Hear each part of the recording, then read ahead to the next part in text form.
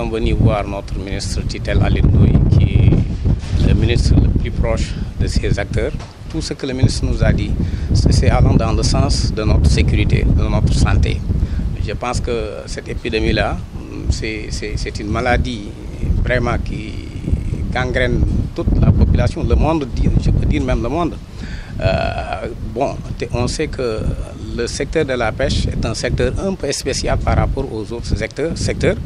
parce que si vous prenez l'exemple euh, d'une pirogue euh, qui fait la pêche du jour, appelée guettitaire, il y a quatre pêcheurs. Si vous prenez les, les scènes tournantes, euh, comportent plus de 50 pêcheurs.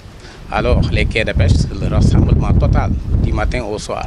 S'il nous dit de revoir le, les comportements des gens, de revoir euh, comment nous s'organiser pour, pour, vraiment anéantir ces fléaux, euh, c'est vraiment un message que nous allons traduire, ça, nous allons transmettre ça aux, aux acteurs.